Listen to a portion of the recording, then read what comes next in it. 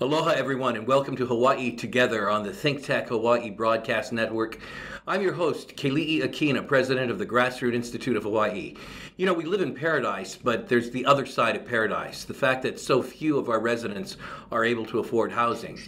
Well, there's no lack of solutions that are offered, but not all of them will really work. One of the solutions that our county and state officials are looking at happens to be a, a program based upon Singapore's model of housing, in which the government itself owns the land and the building and leases out land, leases out uh, apartments to residents that may be a short term fix, but in the long run, we think there are some serious problems with it. But we don't want to be naysayers. At the Grassroot Institute, we want to come up with solutions that will work, and so we scour the country and the world for those solutions. One such solution may very well come from Tokyo. The highly populated city has shown that deregulation rather than more government management can help communities keep up with the housing demand. So if Hawaii wants more housing, it may wish to follow Tokyo's example and roll back re- regulations and, or on land use and housing development. My guest today is an expert in this subject matter. He's senior fellow and director at the American Enterprise Institute Housing Center in Washington, D.C. His name is Edward Pinto, and I'm so glad that he's joining us today to give us a bit of his expertise. Ed, welcome to the program. Aloha, and thank you for having me. Well, Ed, I can't wait until you fly out here to Hawaii and we don't have to do this on Zoom. How's that sound? We're planning on doing that. That sounds great. Tell me a little bit about your background in the subject matter and, and why you have an interest in what we call the Tokyo model. So, I've been involved in housing finance uh, literally my entire career. Even before I graduated law school, uh, I was involved in housing a bit. I was involved in it at law school. And then my first job was in uh, working for the State Housing Finance Agency as an attorney um, and, and affordable housing. And so that's been my entire career. Uh, I was the chief credit officer uh, and executive vice president at Fannie Mae back in the 1980s. And for the last um, 14 years, I've been a uh, senior fellow at the American Enterprise Institute, and I founded the uh, uh, American the Housing Center back in 2013. And the purpose of the Housing Center is to uh, study housing markets in the United States on a data based and research based way. We've assembled what we believe is the best uh, uh, data set in the entire country about the United States, uh, including all 50 states. And uh, we use those data to come up with solutions. We call it uh, data yields information, information yields knowledge, and knowledge yields potential uh, action. And uh, and we do a lot of research, and we've looked at Tokyo and many other uh, situations that might be applicable and useful to Hawaii. Well, I like your emphasis on data uh, because we, we, can't simply have an ideology or a philosophy. We really have to look at the world as it is in order to find causes to the problems and solutions. One of the th- things at the Grassroot Institute that we have recognized for quite a while is that many people are leaving Hawaii uh, because of the high cost of living. And the most significant component of that is the high cost of housing. And for those who remain in the state, uh, there, there is a high population of those of residents who don't own their home and don't have security in terms of long-term residency. Now, you've looked at the states across the nation. As you look at Hawaii, what do you think are some of the causes, or perhaps even the chief cause, of the high cost of housing? First of all, as you say, that Hawaii does have a high cost. We looked at out of all the states, Hawaii has the highest median home income, the second highest median rents, uh, the second highest rate of homelessness per capita. On a national basis, uh, it is extraordinarily high from a, a price to in, median income basis.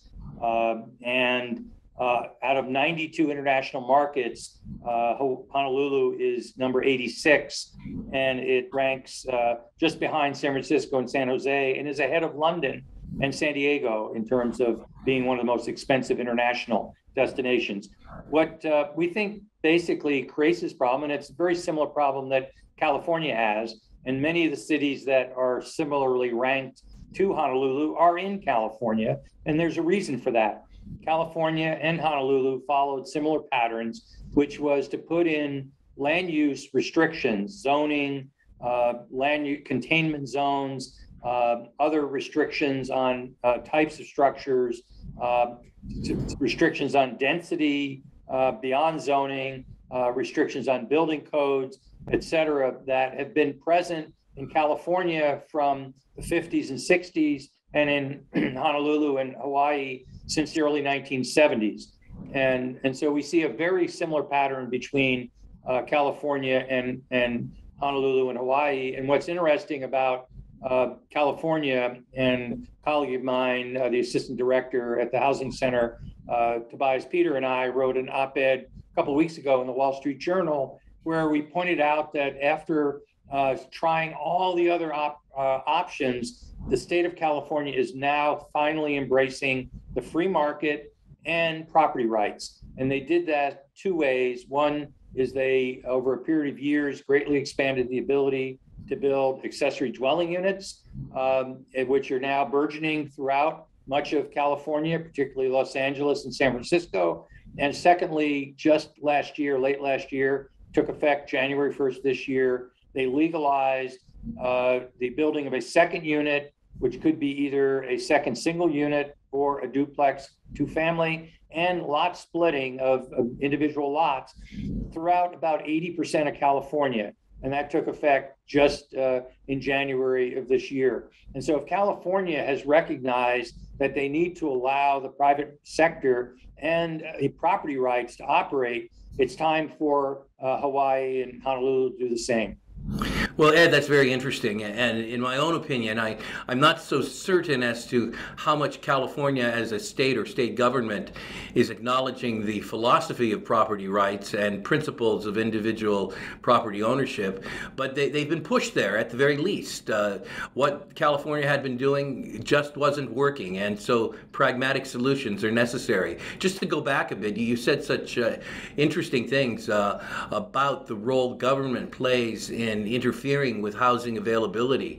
Uh, talking about the Hawaii situation, would you say that government regulation is a big part of reducing the supply of housing, which leads to its high cost?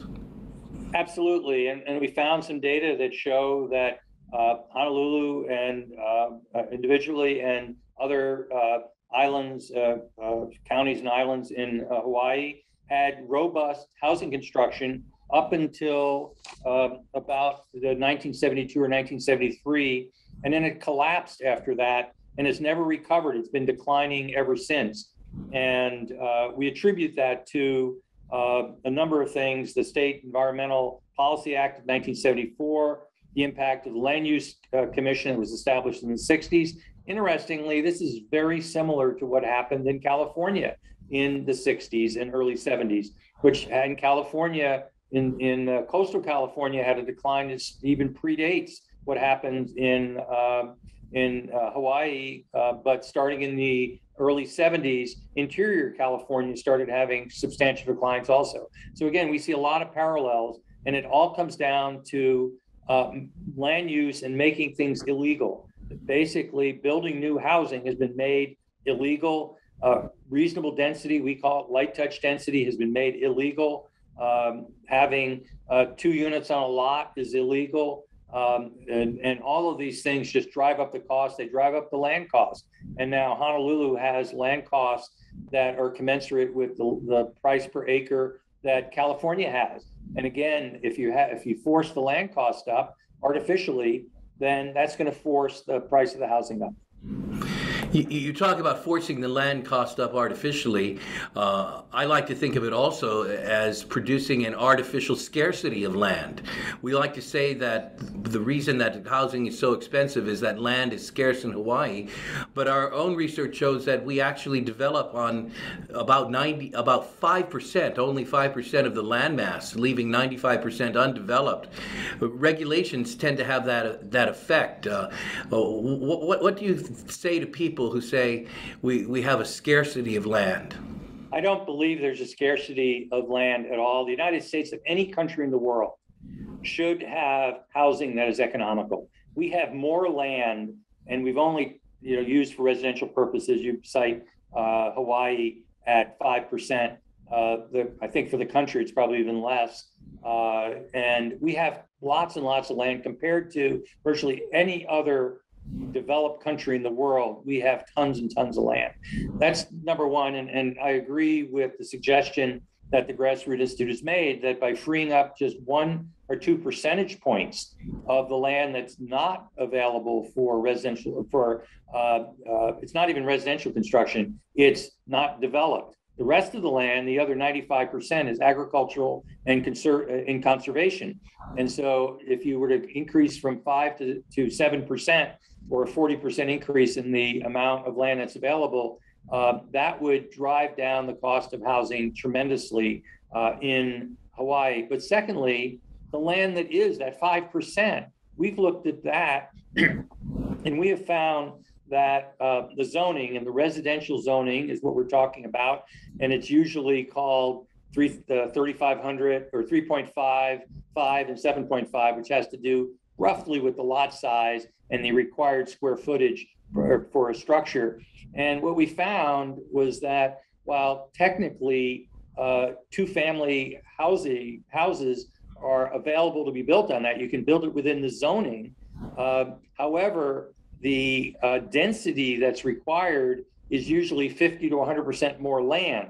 Well, that defeats the whole purpose. If you're on a lot of 5,000 square feet and you want to put uh, two, two family rather than one on it, uh, you now need 7,500 or 10,000 square feet in order to build that. Well, that drives the cost rate back up. So we've calculated that if you were to have uh, uh, triplexes allowed broadly uh, in these uh, 3.5, 5, and 7.5 residential zones, which is most of what, for example, Honolulu County is zoned as, um, or those three zones. If you were to allow uh, the uh, triplexes, duplexes, and triplexes, and lot splitting, which allows you to take a 7,500 square foot lot and divide it in two, you could add 26,000 units over an estimated 10 years. Well, that's a that would go a long way to meeting the shortage that the uh, Hawaii realtors say.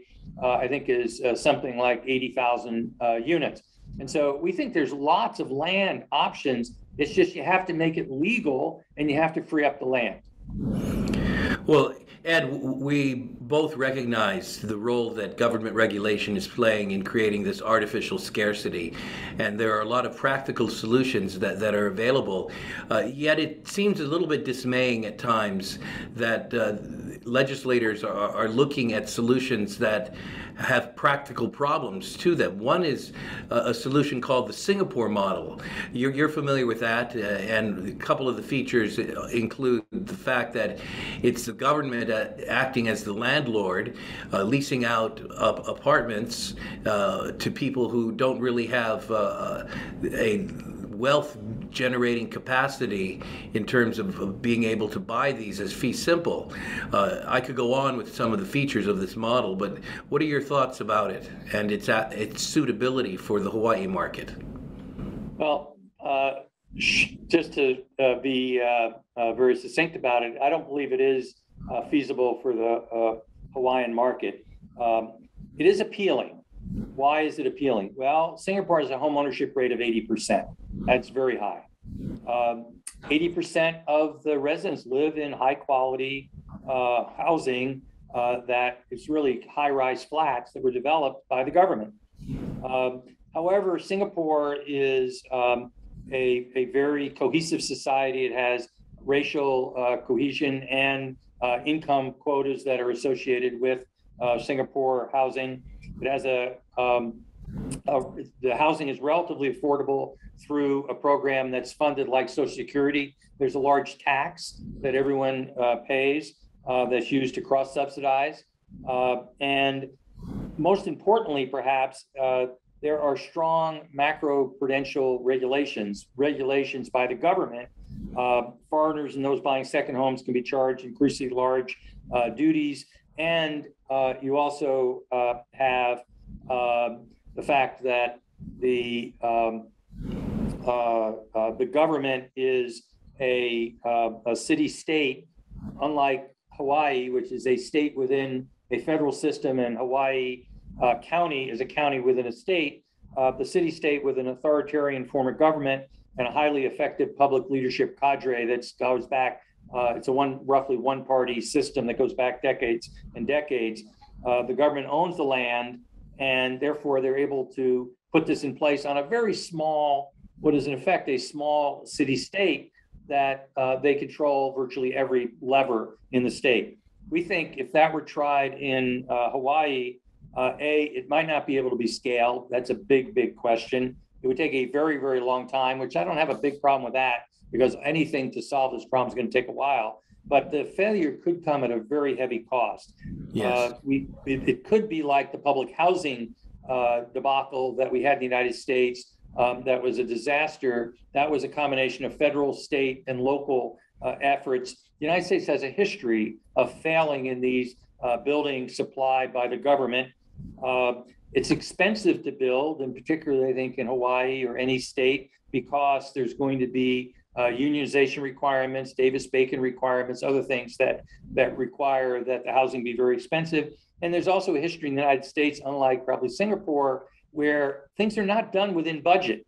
Uh, we all know about the the bridge to nowhere. We know about the the train that's in California that's three or four or five times over budget. We know about the big dig in uh, in uh, Boston. Uh, it also, lastly, I think, isn't really what's needed by the tenants. It, it really traps the tenants once they're in. They, they really have a little limited ability to move.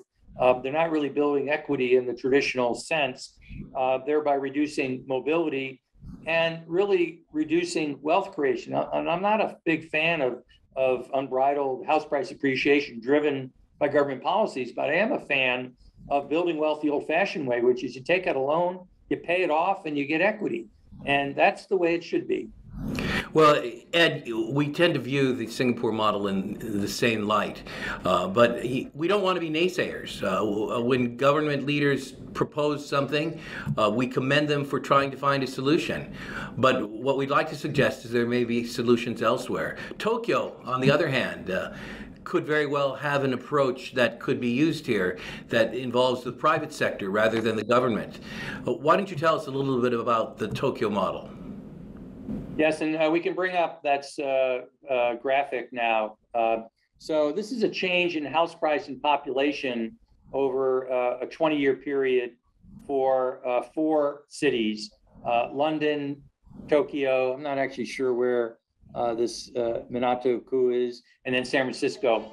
but what you see is the blue bar are house prices and, and nominal prices, and the orange bar um, are the is population. And you see that population, uh, let's focus on London, Tokyo, and San Francisco, has barely grown in any of the, the three. But the house prices have gone up tremendously, four and a half times in London and um, well over double in San Francisco. And that was just through 2015. It's, gotten worse since. Whereas Tokyo, the house prices are actually basically flat and uh, a population is roughly flat also. We have other data, and, and, and what happened in Tokyo was under their constitution, uh, which was set up by the United States government after World War II, it provided property rights, and those property rights were finally recognized pretty fully in the 1980s. And part of the property rights was that you could develop your property um, as long as it basically wasn't disturbing someone else. Uh, it wasn't a nuisance. And so you could build um, there was very lim- tremendous limitations on zoning. You could build um, a more intense development next to a, a lower intensity development. Uh, you could build duplexes, quadruplexes, triplexes, high-rise buildings, and so uh, as a result, Honolulu has built. Uh, uh excuse me. I, I mean uh, Tokyo has has built more housing than uh, in a period than the entire state of California by a multiple. and so Tokyo has been able to meet the needs of their population, um, meet the needs in terms of a cost, keep the keep it affordable, uh, both for rents and home ownership. Uh, the units have actually gotten larger over time because uh, uh, that's one thing they were well known for was relatively small units. They've gotten somewhat larger, whereas everything's going in the opposite direction in a place like San Francisco and Honolulu. Ed, what are some of the quick takeaways that Hawaii can learn from the Tokyo model and apply? I think the quick takeaways are you have to make development legal.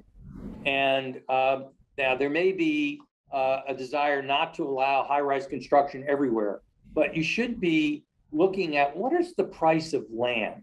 And we already have talked about the fact that these prices are made artificially high, uh, high through scarcity. But that's the situation we're in is high priced land. And so if you look at the land um, around the uh, uh, H1 highway uh, on the on the ocean side, the water side, um, that's very high density development. But a lot of that, excuse me, very high priced land. But a lot of that is still just zoned for residential development on 3,500, 5,000 and 7,500 uh, square foot lots.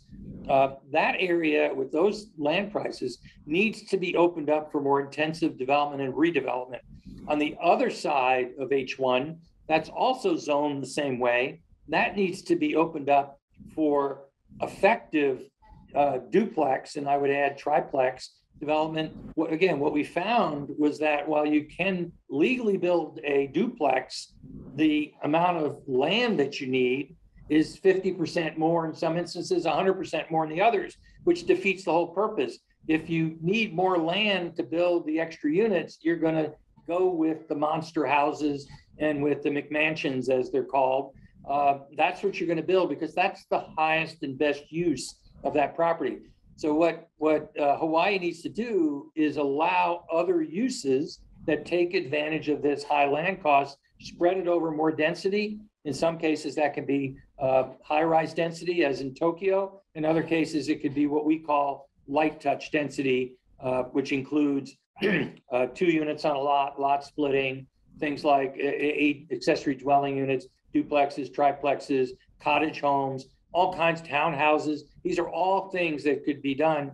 And as I said, we think that in the case of um, Oahu would add 26,000 units uh, over a 10 year period, just reutilizing some of the existing land. Now, Ed, you've just written a paper on light touch density and you've listed some of the ideas in that paper. Anything uh, that's particularly relevant to the Hawaii situation?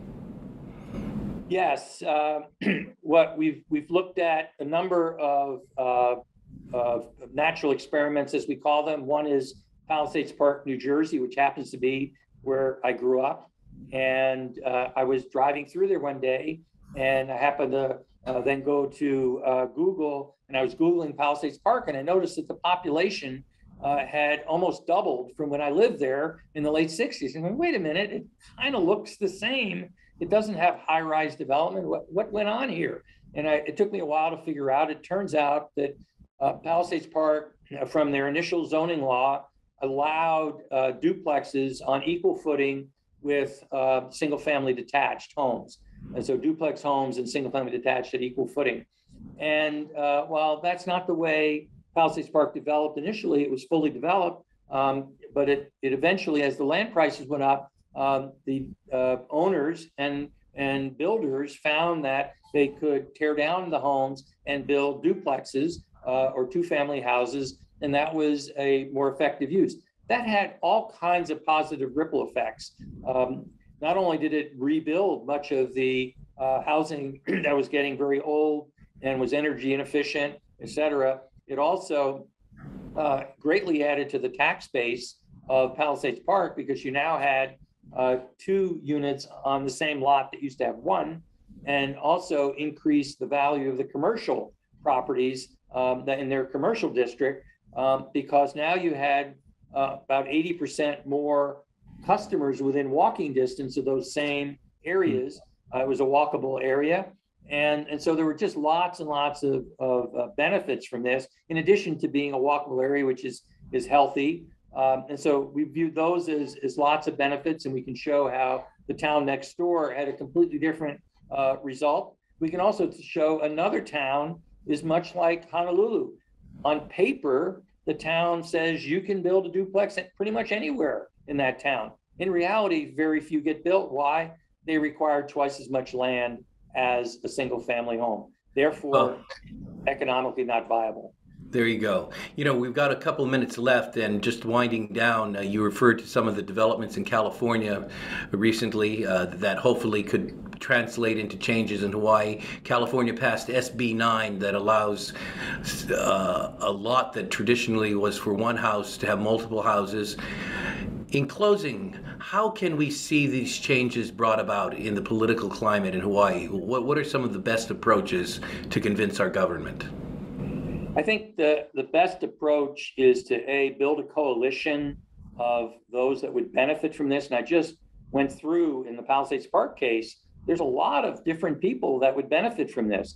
You've got homeowners who now have something worth something. Their their land has a potential option to be used in another use and has value. Um, the um, you've got the uh, impact on taxes, property taxes uh, can be lower. You've got the impact on commercial development. You have the impact on builders and developers and subcontractors and all the other people that would be involved. And you have an impact on um, the uh, uh, workers that are service workers, of which uh, Hawaii has one of the highest percentage of service workers in, right. in the country. Uh, they need places to live and ADUs. There's a lot of research out of California that shows how ADUs have relatively low rents compared to uh, other uh, uh, similar sized apartments. And you're adding in areas that are close to jobs. Those are other opportunities. So there's lots of opportunities to build a coalition uh, among the willing and actually overcome the, the NIMBYism uh, that you'd otherwise uh, run into. and that's happening around the country. You mentioned California. You, it's happening in Oregon. It's happening in um, uh, uh, Minneapolis and many other places where they're embracing light touch density. Well, Ed, that's a great idea. And thanks for all the research you do, your insights, and we look forward to working more with you. Um, thank you for being on the program, Ed. Appreciate my pleasure. Thank my, my, my, guest today has been Edward Pinto of the American Enterprise Institute. I'm Keli'i Akina with the Grassroot Institute for Hawaii Together on ThinkTech Hawaii's broadcast network. Until next time, Aloha.